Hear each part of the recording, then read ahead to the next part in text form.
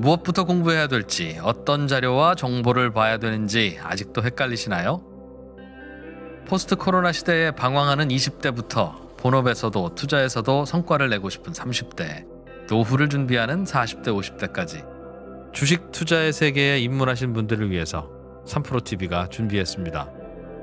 3프로TV 주식대학 봄학기 초보 투자자들의 멘토 연블리의 친절한 주식 기초 교육 어떤 기업이 돈을 잘 벌고 있는지 확인하는 법부터 증권사 리포트, 기술적 분석을 통해서 수익을 내는 법까지 염블리, 염승원 부장과 함께 한 발자국씩 나아가면서 평생 투자의 기초를 탄탄하게 다지는 시간이 될 겁니다. 3프로TV가 염블리의 친절한 주식 기초 교육과 함께 여러분의 성공 투자를 응원하겠습니다. 영상 아래 링크를 통해서 강의를 신청하실 수 있습니다. 자 그러면 우리 어, 김효진 연구위원님 모셔볼까요? 예, KB 증권에서 오셨죠? 어서 오십시오. 김효진입니다. 네. 어서 오세요. 네, 반갑습니다. 안녕하세요. 네. 자 오늘은 우리 김효진 아, 연구원께서 아, 어떤 이야기를 또 들려주실지 기대가 무척 네, 큽니다. 제 이야기도 제 이야기인데 뒤에 네. 권순우 기자님 취재기 너무 저도 궁금하네요.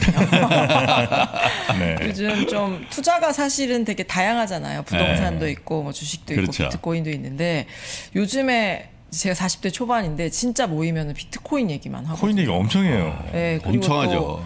특히 이제 저나 저희 남편처럼 월급쟁이들은 누가 이제 퇴사했다 이런 얘기들 엄청 많이 하거든요. 얼마를 벌어서 아, 코인- 코인으로? 회사, 네, 어느 회사에 뭐 대리가 뭐 아니 사원이 삼성전자 뭐 그때 나왔죠. 되게 다양한 회사가 네? 있는 것 같더라고요. 아, 삼성전자만 있는 건 아니겠지. 근데 네. 삼성전자 그때 나왔죠. 뭐 400억 벌어가지고. 네, 뭐. 근데 이게 뭐 저 멀리서 누가 얼마 벌었다더라고 네. 약간 감이 안 오다가 나랑 같이 뭐 이렇게 아. 근무할 만한 음. 사람들이 이렇게 많은 돈을 벌었다고 해서 사람들 관심이 진짜 높아진 것 같아요. 예전에 우리 저 저 사원 대리 때 네. 그 뭐 주식 투자 좀 해가지고 특히 영업점에서 음. 네. 아, 나 그만둘라고 사람들이 몇 번 있었거든. 아. 그 그만뒀어요 그 사람들? 그만뒀지. 오. 예, 그리고 잘 된 분도 있고 다시 뭐 투자 상담사 같은 거 하시는 분도 있고 그러는데 어. 참 이게 부럽- 피부로 좀 부럽- 많이 부럽긴 느껴진다는 거죠. 코인에 대한 네. 관심들. 아, 네, 제 이야기를 얼른, 얼른 좀 엑기스만 마무리를 하고 저희 코인 이야기를 들으러 가야지 될 것 같습니다. 네네. 일단 저는 FM적인 이야기를 좀 몇 개 드릴게요. 제가 한 한 달 전부터 코로나19 확진자 수가 얼마나 늘었는지를 쭉 업데이트 해드려요. 그렇죠. 업데이트 해- 해드릴 때마다 제가 되게 많이 늘었는데 경제를 아직 꺾을 정도는 아닙니다라는 이야기를 드렸었습니다. 첫 번째 그림을 한번 같이 보시죠. 네. 코로나19 감염자 수가 드디어라고 하면 좀 그렇지만 최고치를 찍었어요. 아이고 인도가 난리더군요. 예, 조금 네? 안타까운 이야기인데. 하루에 막 30만 명? 네, 넘어가요. 이게 한 달 전에는 하루에 만 명이었었거든요. 네. 그러니까 이게 약간 좀 정말로 통계를 집계하는데 차이가 있는 거. 인구가 또 워낙 많으니까요. 그러니까요. 그래서 좀 걱정이 되기는 하는데 조금 감정을 덜어내고 말씀을 드리자면은 인도를 빼면은 상황이 모두 그렇게 나쁘지는 않습니다. 음. 그래서 첫 번째 그림에서 보시는 것처럼 저 회색 막대기, 그러니까 까만색 선으로 되어 있는 게 글로벌 감염자 수예요. 네. 하루에 얼마나 늘고 있는지 이렇게 보시면은 네. 지난 1월에 최고치를 이렇게 뚫고 완전히 올라갔거든요. 네. 회색 막대기가 뭐냐면은 인도를 빼고 그래서 만약에 음. 인도를 빼도 정말로 빠르게 악화되고 있고 인도도 네. 안 좋아지고 있고라고 한다면 어 이거 코로나 이거 어, 주식에 대해서도 좀 네. 다시 생각해봐야 될 것 같습니다라는 이야기를 드려야지 될 것 같은데 음. 회색 막대기로 되어 있는 인도를 뺀 세계 감염자 수는 최근에 며칠이지만 별로 안 늘어요. 그러네요. 별로 안 늘고 최고치와 비교하면 지금 최고치의 한80% 음. 정도 수준입니다. 물론 지난 한 달 동안에 감염자 수가 늘기는 늘었어요. 그런데 인도를 지금 조금 안타까운 상황으로 흘러가고 있는 인도를 제외하고 나서 보면은 지금 온 세계가 다 뭐 3차 재확산, 4차 재확산의 공포에 있어야 되는 시기이냐, 주식마저 조금 고민해야 되는 시기이냐, 그렇지는 않다라는 이야기를 좀 드리도록 하겠습니다. 네. 그리고 두 번째 그림을 조금 같이 한번 봐주시면 좋을 것 같은데 네. 음. 저희가 주로 이렇게 일별로 코로나19 확진자 수가 몇 명 늘었습니다. 이런 이야기를 드리잖아요. 전 세계에서 이거를 한번 구해봤어요. 코로나 19에 한 번이라도 걸렸던 사람이 몇 명이고 누적으로 추세가 예, 좀, 누적으로 네. 어떻게 되고 백신을 이제 두 번은 맞아야 된다. 그러니까 백신을 2회 이상 우리가 네. 이제 완전 면역이 됐다라고 면역이 됐다라고 하는 사람들의 숫자가 누가 더 많을까를 한번 해봤어요. 해봤더니 오. 코로나19 감염자 수가 한 1억 5천만 명 정도 되더라고요. 음. 처음부터 지금까지요.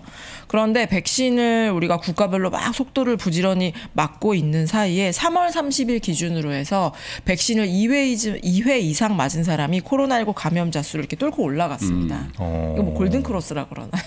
네, 네, 그래서 앞으로 차이가 훨씬 더 많이 벌어지겠는데. 예, 이게 날마다 날마다 차이가 좀 많이 벌어지고 음. 있는 그런 상황이에요. 그래서 지금 백신을 맞은 사람은 2억 한 3천만 명 정도 됩니다. 이게 뭐 아주 청소년이나 성인이나 그리고 음흠. 인디아 같이 인구가 많은 국가들이 모두 맞으려면 시간이 걸리죠. 그렇죠. 걸리지만 지금 코로나19를 감염 코로나19 걸린 사람보다 백신 맞은 사람이 되게 적어서 경제 활동에 되게 데미지를 줄 수 있는 상황이냐? 그렇지는 않다. 네. 코로나19 감염자 수가 최고치이고 어, 인도 같은 경우에는 조금 안타까운 상황으로 가고 있지만 인도를 덜어내거나 아니면 코로나19 감염자 수와 백신 접종 인구를 비교했을 경우에는 경제에 대해서 속도를 조금 조절할 만한 필요는 있지만 이게 방향 자체를 고민할 상황인가 지금 최고치니까 사실 네. 여기서 어 이게 경제가 내가 생각했던 것보다 되게 별로던데라고 하면 사실은 데미지 줄 수 있거든요. 음. 그런데 그런 상황은 아니다라는 거를 좀 업데이트 차원에서 말씀드리도록 하겠습니다. 네. 두 번째로 말씀드릴 부분은 어, 세 번째 그림을 좀 보여주실래요? 네. 제가 이거를 예전에 막 손으로 막 그려가지고 보여드렸던 게 기억이 나는데, 네. 네. 그 경제를 보통 네 가지 국면으로 나눠요. 그래서 저 저점에서 기준선까지 올라올 때를 우리가 회복기라고 하고요. 그렇죠. 기준선의 장기 추세라고 이렇게 되어 있는 거예요. 음. 기준선에서 정점까지를 확장기라고 합니다. 경제가 정말로 성장할 때. 네네. 정점에서 이제 다시 맞고 내려올 때를 둔하기 혹은 후퇴기 라고 하고요. 음. 이게 기준선마저 뚫고 내려갈 때를 저희가 수축기, 뭐 네. 경제 위축 이렇게 침체기 얘기를 뭐 하죠. 예. 침체기라고 음. 하죠. 이게 계속 이렇게 물결처럼 우리 이렇게 반복이 하- 반복을 해서 경제가 앞으로 앞으로 나아가고 그렇죠. 있는데 지금 글로벌 경기 선행 지수가 업데이트를 해보니 지난 2월 통계, 3월에 발표된 2월 통계를 기점으로 해서 장기 추세를 뚫고 올라갔습니다. 그 말이 뭐냐면 네. 우리가 지금까지 저도 이제 경제 코멘트를 쓸 때 어, 경제가 회복하는 속도가 어떻습니다. 미국이 좀 더 빠르게 네. 회복합니다. 회복이란 단어를 썼잖아요. 네. 그런데 지금은 엄격하게 이야기하면 글로벌 경기 선행 지수가 기준선인 100을 뚫고 올라갔어요. 음. 그래서 이제는 회복이 아니고 찐 성장이에요. 그래서 경제가 이제 회복을 넘어서서 확장 국면으로 들어갔다. 아, 음. 이 장기 추세라고 돼 있는 우상향하는 이 추세를 넘어갔으니까 네. 찐 성장이라는 네, 거죠. 지금부터는 국가별로 차이는 있습니다. 하지만 미국, 중국은 이미 이제 장기 추세를 뚫고 올라간 지 오래됐고요. 미국도 어, 이번 거의 이번 분기부터 한국도 다음 분기부터는 코로나19 때 깎아 먹었던 거를 다 회복하는 네. 그러한 상황에 왔기 때문에 지금부터는 확장기에 접어든다라고 이야기를 드릴 수 있을 것 같습니다. 네. 그러면 뭐가 달라지냐가 사실은 오늘 네. 드리고 싶은 포인트예요. 네 네. 번째 장표를 한번 같이 봐주시죠. 음. 결론은 이겁니다. 속도가 조금 줄어요. 경제가 성장하는 속도가. 네. 왼쪽 막대기가 뭐냐면 회복 국면의 글로벌 경기 선행지수 기준으로 한 몇 개월 정도가 머무르고 음. 확장 국면에 접어들면 몇 개월 정도를 머무르는 체류 기간을 제가 나타낸 거예요. 네. 오른쪽 막대기 왼쪽이랑 오른쪽 막대기가 높이가 똑같죠. 둘 다 10개월입니다. 그래서 어 회복기를 지나서 확장 국면으로 가면 이제 곧 꺾이나요? 그렇지 않습니다. 회복 국면 저희가 지금 10개월 올라왔는데 이 평균을 대입한다라고 하면 확장 국면 경제가 찐 성장하는 기간도 10개월 정도는 평균으로 유지됩니다. 네. 근데 네. 이게 평균이 보통 뭐 어떤 땐 5개월이고 어떤 땐 15개월. 그래서 이건 평균 예, 그렇게 해서 평균 10개월. 이러면 평균의 의미가 없잖아요. 그렇죠. 그런데 대부분 뭐 1차 오일 쇼크, 2차 오일 쇼크, 아. 서브프라임 이렇게 굵직굵직한 사건들 지금도 굵직굵직한 어, 경기 위축이었으니까 요때는 대체로 비슷해요. 편차가 별로 없습니다. 8, 9, 10, 11, 12 요 정도였나요? 예, 그 정도입니다. 예, 그래서 어 지금까지 회복 국면 저희가 10개월 쭉 이어왔는데 네. 앞으로 경제가 빨리 꺾이냐? 앞으로 한 10개월 정도는 평균을 대입해도 경제가 앞으로 치고 나가면서 찡성장을 할 수 있겠구나. 요 하나 포인트를 좀 오케이. 말씀드리고 싶고 네. 하나 좀 드실 수 있는 질문이 이번에 코로나는 약간 천지가 개벽하는 것처럼 우리가 처음 보던 건데 이런 평균치가 맞아요? 라는 의문 드실 수 있을 네. 것 같아요. 음. 이번에 경기 저점에서 기준선까지 올라오는 기간이 딱 10개월이었어요. 네. 그래서 지금 포기야 워낙 급격하게 위축하고 빠르게 회복하고 그러고는 있지만 기간은 평균을 대입해서 봐도 큰 차이가 없다라는 네. 이야기를 드리겠습니다. 음. 네. 그러면 어 그럼 회복하고 똑같네요. 이걸 굳이 나눠서 볼 필요가 없네요. 조금 달라지는 거는 경기가 앞으로 나아가는 속도예요. 음. 그 오른쪽 하늘색 막대기를 봐주시면 될 것 같은데 네. 이게 글로벌 경기 선행 지수의 월 평균 상승 폭입니다. 회복기 경제가 저점을 찍고 기준선까지 막 가열차게 회복할 때는 한 달에 경기 선행 지수를 기준으로 말씀드리면 한 0.5 정도씩 올, 0.4 정도씩 올라가요. 음. 그래서 하루에 한 달에 이렇게 팍팍팍 올라가는데 네네네. 이게 확장 국면이 되면 요거의 절반 0.2% 포인트씩 한 달에 예, 거죠. 올라갑니다. 그러면은 안 좋네요 라고 생각하실 수도 있지만 음. 그리고 이게 뭐가 되게 큰 변화가 있어서 이런 네. 겁니까? 근데 이거는 사실은 경제에서 보면 약간 자연스러운 부분이기도 합니다. 음. 경제가 기준선을 뚫고 좋아지기 시작하면 각국 정부들은 부양 강도를 자연스럽게 낮춰요. 네. 지금 지난주에 캐나다에서 우리 금리 올릴 수도 있다. 긴축을 하겠다라고 이야기를 해서 어 다른 국가는 그럼 괜찮아? 라는 게 좀 이슈가 네. 되기는 했는데 경제가 안 좋을 때 100 정도 부양을 이런 재정 부양이든 통화 정책이든 부양을 100 정도 했다면 경제가 조금씩 좋아지기 시작하면 부양 강도는 낮아지거든요. 네. 그래서 부양 강도가 낮아지면서 경제가 좋아지는 속도가 조금은 둔화된다. 그런데 이 지금부터 이제 자생적인 회복에 좀 포커스를 조금 맞춰야 될것 이거는 같고. 속도라는 말씀이 이제 율이잖아요, 율. 그쵸. 그죠? 네. 그러면 이제 통계상의 기저 효과 같은 것들도 감안해야 되는 거죠. 예를 아, 들면 그렇죠. 정말 안 좋았을 때 예를 들면 뭐 에, 작년 1월, 2월 대비했을 때 연간으로 아. 보면 그런 그런 것도 감안된 숫자인가요? 그거는 요거는 이제 순환 변동치라고 해서 저희가 사이클을 뽑아낸 거기 때문에 음. 기저 지난해랑 상관없이 지금 상관없이. 경제가 오로지 오롯이 어디로 가고 있는지만을 여러 가지 통계 기법으로 해서 뽑아낸 거라고 보시면 네. 됩니다. 그래서 지난해 안 좋았건 좋았건 아, 기저 효과는 이, 예. 네. 예, 이 숫자는 그냥 나가게 이제 되어 있고요. 그래서 경, 경제가 다시 이야기를 돌아가면은 경제 속도가 이제 안 좋아지면서 예. 그러니까 경제가 좋아지면서 부양 강도는 자연스럽게 좀 낮아지는 이제 그런 부분이 있기 때문에 속도가 낮아지지만 경제 회복 속도가 낮아진다는 건 약간 그럼 안 좋은 건가라고 생각하실 수도 있겠지만 모멘텀은 확실히 둔화되는 건 맞아요. 그런데 자생적으로 회복할 수 있기 때문에 정부들도 그렇게 하는 거다. 한 가지 이야기를 드리겠고 또 경제가 저점에서 기준선으로 올라와서 그 다음으로 뚫고 올라가게 되면은 금리하고 유가가 같이 올라갑니다. 네, 경기가 네, 네. 회복하면 같이 그렇겠죠. 올라가잖아요. 최근에 막 올라가다가 좀 어, 둔화되어서 오히려 저는 어, 경제는 조금 진짜 괜찮겠다라는 생각을 좀 개인적으로 하고 있기도 한데 예. 이런 지표들 비용과 관련된 지표들이 좋아지면서 경기 회복 속도는 음. 높습니다. 그래서 기저 효과뿐 아니라 지금부터 발표되는 경제 지표들은 약간 숫자에 좀 예민한 분들이시라면은 그냥 그런가? 경제가 이거 코로나도 난리라더니 음. 별로인가? 어 이거 조금 내가 너무 경제에 대해서는 좀 경제 다 좋다 그래서 안 보고 있었나? 이게 네. 약간 느낌이 쎄한 거를 받으실 수도 있어요. 하지만 이것은 두 가지. 코로나19 감염자 수 늘었지만 경제에 대해서 고민할 단계는 아닙니다. 다만 이 경제가 기준선을 뚫고 올라가면서 확장 국면을 진입했기 때문에 코로나19가 아니어도 네. 그냥 내비뒀어도 속도는 약간 누울 만한 상황이었습니다. 굉장히 자연스러운 부분입니다. 라는 것도 좀 이야기를 드리겠습니다. 주가는 어때요? 이 회복 국면과 확장 국면의 이 속, 월평균 상승폭이 줄어드는 국면에서 주가는 어떻게 됩니까? 상승세는 지속돼요. 그러니까 네. 통계적 보통 이렇게 보면 확장 국면에서도 겨- 주가의 상승세는 지속되는데 네. 상승률은 회복 국면이 가장 좋습니다. 음. 아, 예, 그래서 지금부터는 만약에 작년을 떠올려 보시면은 맞는 것. 같아요. 작년에 저점에서 이렇게 올라올 때 막 지수 막 두, 워낙 많이 떨어지기도 했지만 미국 음. 주가 막 두 배, 한국 주 지수 막 두 배 이렇게 갔었잖아요. 네네. 그래서 여기서 그러면 10개월 동안 지수 두배 하는데 여기서 6천 네, 그럴 수는 없으니까 이런 것도 약간 자연스러운 부분이라고 생각하고 봐주시면 좋을 것 같습니다. 그래서 올해 최근에도 아까 이제 뉴스 오프닝을 하시면서 네. 최고치인데 이렇게 힘들다라는 이야기를 들, 네. 하셨는데 막 경제가 막 정면을 보면서 막 한 달에 몇씩 막 올라갈 때는 지수의 반응도 그만큼 센 것 같아요. 음. 그게 낙폭과대가 됐건 성장주가 됐건 경기 민감이 됐건 되게 다양한 모멘텀으로 이제 갈 수가 있는데 지금부터는 네. 다 이제 회복을 그러니까 위축은 만회했잖아요. 음, 계산이 조금 복잡해지죠.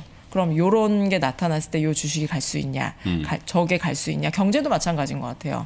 경제가 이제 기준선까지는 올라왔는데 코로나19가 조만큼인데 경제 계속 갈 수 있어? 저희도 계산이 계속 엑셀 시트만 계속 늘어나거든요. 그래서 계산이 복잡해지셔서 아마 투자자 여러분들이 지수가 최고치임에도 불구하고 조금 피곤하신 거는 아닌가 이제라는 생각이 듭니다. 세 번째로 말씀을 드릴 부분은 어 법인 그러니까 미국의 증세예요. 그러니까 작년에 돈을 풀 때부터 투자를 아주 오래 하신 아니면 경제를 되게 오래 보신 구루분들이 앞으로 우리 이제 되게 오랫동안 오랜만에 증세와 관련된 이야기를 많이 하게 될 거다. 네. 라는 이야기를 많이 하셨는데 그게 많은 사람의 예상보다도 조금씩 좀 당겨오고 있는 그런 상황입니다. 음. 그래서 법인세 이야기는 좀 많이 됐었고요. 지난주에는 미국 바이든 행정부에서 자본이득세를 우리 올릴 수도 있다. 그렇죠. 어. 라고 하면서 목요일 밤이죠. 목요일 밤에는 주가가 지수들이 다 1%씩 쭉 그것도 이제 인터뷰하고 갑자기 좀 쭉 빠지는 모습을 네네네네. 나타냈다가 어, 금요일에는 미국의 PMI나 이런 것들이 잘 나오면서 뭐 괜찮아 이러면서 이제 지금은 약간 공중에 떠 있는 상황인데 요 증세와 관련된 것들은 계속해서 이야기가 나올 것이고 음. 그리고 저는 정말로 올릴 가능성이 높다. 세금. 예, 라는 생각을 합니다. 요 저도 세금에 대해서는 사실 그렇게 잘 알진 못해요. 그래서 제가 전미, 그러니까 미국의 경제 연구소라고 NBER이라는 기관이 네, 있거든요. 네, 여기가 네. 근데 얼마나 유명하냐면은 지금 미국의 지금부터 경기 침체입니다. 침체를 나왔습니다. 여기서부터 여기까지를 우리는 몇, 몇 번째 침체라고 이야기를 하겠습니다를 공식 발표하는 기관이 요 전국 미국 경제연구소 MBER이라는 곳이에요. 네. 그래서 한국으로 따지면 뭐 한국은행이 한국은행 그 KDI처럼 굉장히 무게가 실리는 연구소라고 말씀드릴 수 있을 것 같은데 이 자본이득세, 법인세 너무 세금들이 빵빵 나오니까 정신을 좀 못 차리겠더라고요. 네네. 그래서 주말에 보고서를 쭉 봤더니 지난 1월에 이미 관련된 보고서를 냈더라고요. 예. 냈는데 내용이 뭐냐면 지금까지 근로 미국이 미국 기준으로요 근로소득이나 임대 및 이자 소득 같은 것들을 우리가 일반 소득이라고 하는데 여기에 매기는 최고 세율은 38%예요. 그러니까 좀 못 버는 사람들은 그러니까 소득이 낮은 사람들은 세율이 낮고 음. 고소득자인 경우에는 세율이 높아서 최고 세율이 38%인데 다른 것과는 달리 자본이득세, 그러니까 주식을 팔아서 100만 원 남기고 200만 원 남기고 그런 거에 대해서 매겨지는 이 capital gain tax의 최고 세율은 20%였습니다. 아, 거의 주식 절반밖에 안 주식 됐죠. 투자 하시라는 거네. 네, 그렇기도 했고 저도 네. 이게 약간 미국은 역시 이 투자에 대해서 되게 우호적인 건가? 그렇죠. 그렇게만 생각하고 있었는데 논문을 이렇게 쭉 읽어보니까 우리도 이제 대주주에 대해서 이제 뭐 과세를 하고 음. 이런 법률이 변하면 그 전에 팔았다가 그또이 과세하는 기간이 지나면 샀다가 이런 게 수급상에 되게 중요한 이슈로 음. 대주주만 높게 과세를 하니까. 예, 그래서 이게 그게 수급상의 이슈가 되는데 이게 저도 이 논문을 쭉 읽어보니 되게 우아한 말로 세율에 탄력적으로 대응할 수 있다. 음. 이 투자자들이 그러면 세율 올린다, 그럼 팔았다가 음. 이 과세 기간이 끝나면 또 샀다가 이렇기 네. 때문에 정부 입장에서는 세율을 올려봤자 거둘 수 있는 세금이 그렇게 많지 않은 거예요. 음, 네, 비례하지 않는다는 거죠. 예, 그래서 이 탄력적으로 회피할 가능성 이건 음. 불법이 아니고요. 합법적으로 이렇게 대응을 할 수 있기 때문에 지금까지는 그렇게 이제 세금을 많이 몰려도 실효성이 없다. 음. 그렇다면 다른 투자하는 사람들까지 좀 해를 볼 수 있으니 음. 다른 것과 달리 최고 세율을 20%로 낮게 유지하자를 굉장히 오랫동안 해왔습니다. 음. 네. 그런데 이번에 최근에 아마 이거는 솔직한 이야기입니다만 세금은 걷어야겠고 어디서 우리가 연구 결과가 좀 다른 게 없어? 조금 올리어서 다시 거둘 수 있는 게 없어라고 전면 재검토를 했었던 것 같아요. 그래서 전면 재검토를 하고 연구 같은 기법 같은 것도 더 발전을 하니까요. 그래서 넣어서 보니까 만약에 이 자본이득세 최고 세율을 다른 것과 마찬가지로 38%까지 올릴 경우에는 한 10년 동안에 1조 달러 정도도 더 거둘 수 있겠는데라고 추정 결과가 나온 거예요. 매년 이 10년 동안에. 10년 동안 예, 1조, 1조 달러요. 달러. 아, 근데 이게 얼마 정도 감이 안 오실 것 같은데 이번에 인프라 투자 법안을 하면서 8년 동안에 2.2조 달러 쓴다 그랬잖아요. 거기다가 이 뭐 family 뭐 이렇게 하면서 한 10년 동안에 한 4조 달러 정도 쓴다고 했는데 이 capital gain tax를 올려서 정말로 이 연구 결과대로 1조 달러를 거둘 수 있으면 이 필요한 진 8년 동안에 쓸 거의 4분지 1을 거둘 수가 있는 거예요. 음. 그러면 이거는 좀꽤 해볼 만한 되겠네요. 거죠. 예. 예, 도움이 될 만한 거고 사실은 저도 미국의 경제학자들이 어느 분이 되게 유명한지는 정말 저도 되게 유명한 분들만 알거든요. 네. 요 논문을 네 분이 쓰셨던데 한 분이 이름이 좀 낯익어서 봤더니 미국의 전 재무부 장관인 로렌스 서머스. 래리 서머스. 예, 래리 서머스가 들어 있어요. 네. 아까 같이 연구를 하셨어요. 음. 그래서 이게 그냥 되게 많은 연구 중에 어 이런 것도 있어요. 라고 해서 제가 이렇게 시간을 들여서 말씀드리는 게 아니라 음. 미국은 전 재무부 장관이 참여해서 논문 연구한 결과가 음. 최고 세율을 얘만 미워서 주식만 미워서 더 올리는 게 아니라 다른 네네. 음. 것 수준으로 올렸을 경우에 지금까지는 세금을 많이 못 거둘 거라고 생각했는데 미국 정부의 생각이 조금씩 바뀔 만한 근거들이 나오고 있다라는 거죠. 네. 그래서 한국에서도 뭐 미국 주식 투자 많이 하시고 한국은 사실은 이 자본 이득세가 없는 상황이니까 조금은 음. 그게 뭐지? 어, 라는 생각들도 하실 수도 있겠고 네. 어 이게 당장 통과되는 거 아닙니다. 이 세율 같은 경우에는 한 번 결정하면 이렇게 막 기준금리처럼 이렇게 내렸다 올렸다 할 수 없는 거기 음. 때문에 논의들을 아주 오래 하겠지만 어, 미국이 정말로 법인세, 소득세, 자본이득세에서 되게 많은 부분의 세금을 올릴 준비들을 하고 있고 네. 연구 같은 것들은 좀 오래 전부터 했구나라고 보시면 될 것 같습니다. 네. 그래서 지난주 금요일에는 지표들이 잘 나오면서 이게 조금은 수면 아래로 다시 내려가는 듯한 흐름들이 나타났어요. 그런데 음. 이 증세와 관련해서는 하루 이틀 뉴스가 나오고 야, 그 되게 멀었다던데가 아니라 어, 요거는 좀 올릴 수도 있다. 세금들은 전방위적으로 좀 올라갈 수그 나온 얘기가 있겠다라는 100만 불 이상 소득자죠. 예, 이게 100만 불. 전 예, 전체는 아니고요. 미국에서도 고소득 고소득자를 네.